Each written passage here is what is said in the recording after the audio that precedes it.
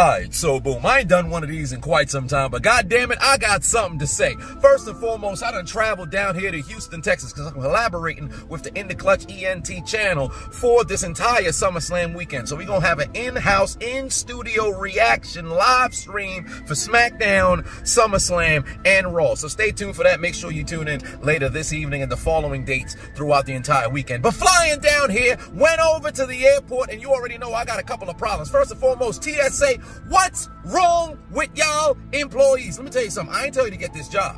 All right, I recognize it may not be a walk in a park. It may not be the happiest location to be, but do you got to be upset at all hours of the day? It's 6 a.m. You screaming at the height of your voice, telling people to take off their belts, take off their shoes. You can't say that in a calm manner, especially because you got individuals who just so happen to be walking around the line to inform people that they got to take their shoes off, take out their electronics, whatever the case just so happen to be. But do you got to scream in people's ears? It's getting ridiculous. I'm standing in line waiting to get to where I gotta put my suitcase on the goddamn, you know, uh, uh, the scanning joint. And for whatever reason, you scream, take off your belt, take off your shoes, take out your electronics, one laptop per bag. What you screaming for?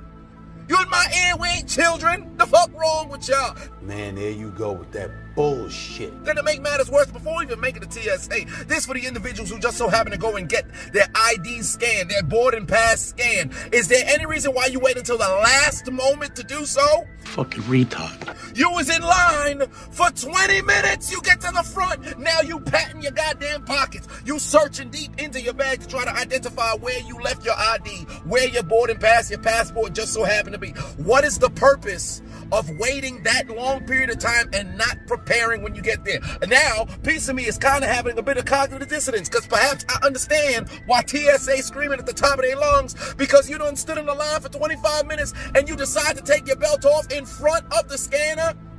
You decide to go take off your goddamn jewelry, all of your electronics out your pocket. You got your phone in your hand, taking a phone call, walking through scanning. I can't believe I'm ringing off, slowing people down. My flight boards in six minutes. Oh. Move your dumb ass out the way. It's getting ridiculous. What's the purpose of waiting this long period of time in order to get yourself together to finally go through? Then when we make it to the doggone gate, all of a sudden nobody know what group they in.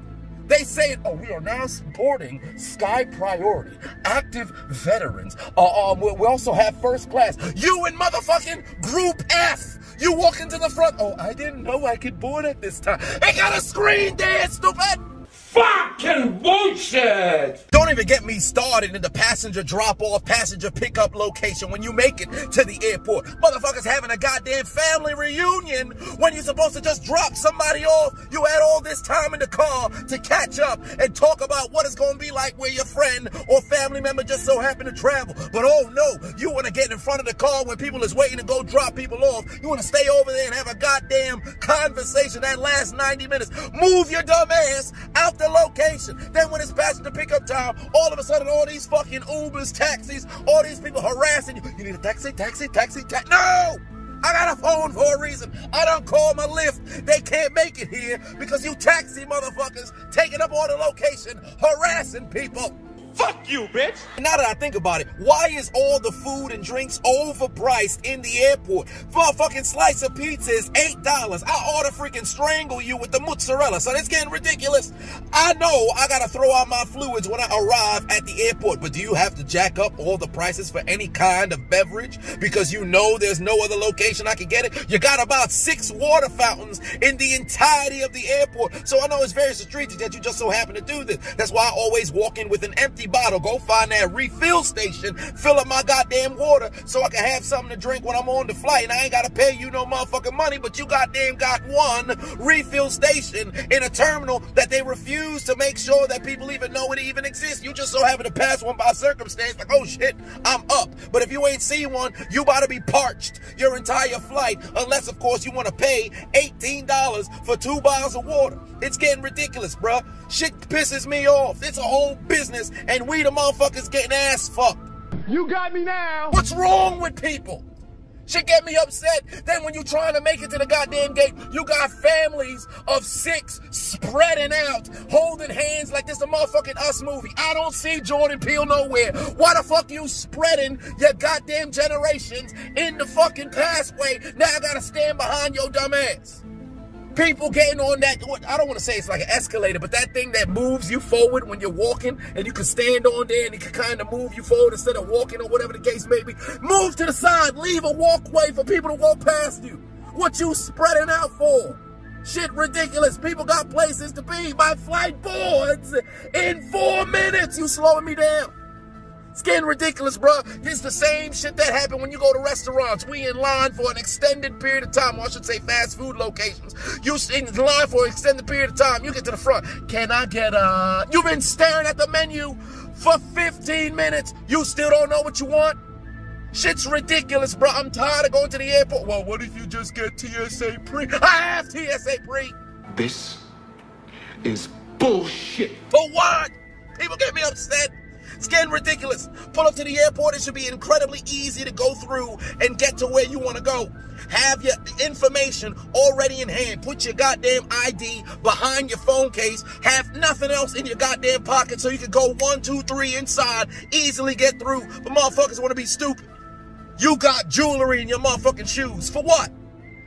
You wearing every piece of electron. You got the motherfucking USB cord as a chain going through the goddamn scan and wondering why you ringing off. Shit don't make sense. You got every electronic under the sun sitting inside of a motherfucking purse and you try to walk through motherfucking scanning it's getting ridiculous. I'm tired of stupid people having to go to different particular locations and I just so happen to be in the same vicinity as you and you slowing up my life. It's getting ridiculous. Let me tell you something right now. Next time I go into the goddamn airport, which will be on Tuesday evening, let me tell you something right now. If I try to go through TSA, and for one, I got the agent screaming in my ear. I, for two, I got other individuals trying to go through scanning, and they taking their goddamn sweet time taking off their stuff. Number three, I make it to my goddamn gate, and people don't have their boarding pass ready to get on the goddamn flight, slowing me up. We gonna have problems. I'm gonna call in the enforcer, Chris. Here comes the United States champion, Chris Benoit. You mean to tell me you watched the entire video but you haven't subscribed? Hit the subscribe button and become a member on Patreon or on YouTube to get access to the Discord. We're waiting for you in the Shadow Realm. Just do it! Make your dreams come true! Please! Please! What are you waiting for, huh? Oh my god.